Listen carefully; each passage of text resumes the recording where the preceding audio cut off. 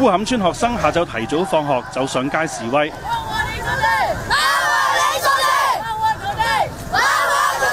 其他村民都有加入，人数最多嘅时候超过三千五百人。佢哋都话唔相信林祖恋有贪污。游行队伍去到派出所外停留约一分钟，继续呼喊口号。在场嘅武警并冇干预。好多嘅村民而家都唔相信政府发布嘅消息，好似下昼有家长听闻乌坎小学有政府官员强迫学生为一啲文件签字同埋打手印，咁大批家长赶嚟接子女翻屋企。